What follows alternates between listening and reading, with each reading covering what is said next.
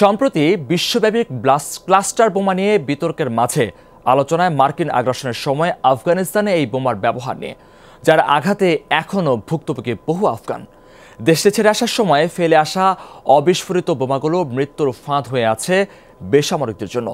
মাঠে ঘাটে এখনও পড়ে আছে হাজার হাজার গুচ্ছ বোমা।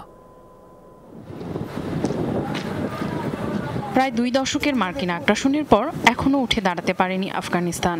তার মধ্যে মরার উপর খাড়ার ঘা হয়ে আছে মার্কিন সেনাবাহিনীর ফেলে আসা ক্লাস্টার বা গুচ্ছ বোমা।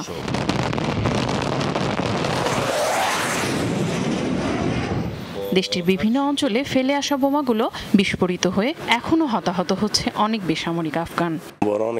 যখন আমি বোমা হামলার শিকার হই তখন আমার বয়স ছয়। আমার মনে আছে একটি বোমা হঠাৎ আমার পিছনে আঘাত করে। সেই দুর্ঘটনা আমার জীবনকে এলোমেলো করে দিয়েছে।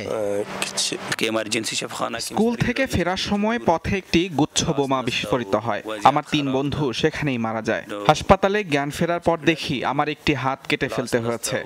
দুঃস্বপ্নের মতো সেই ঘটনা ভুলতে আমাকে এখনও সাইক্রিয়াটিস্টের কাছে যেতে হয়। দুই সালে তৎকালীন তালেবান সরকারকে উৎখাতের জন্য আফগানিস্তানে আগ্রাসন চালায় যুক্তরাষ্ট্র। সে সময় তিন বছর ধরে গোটা দেশে প্রায় দেড় হাজার ক্লাস্টার বোমা ফেলা হয়। দেশটির শহীদ ও প্রতিবন্ধী বিষয়ক মন্ত্রণালয়ের তথ্য মতে যুক্তরাষ্ট্রের ড্রোন ও গুচ্ছ বোমার আঘাতে বর্তমানে প্রায় দুই লাখ পঙ্গু আফগান রয়েছে।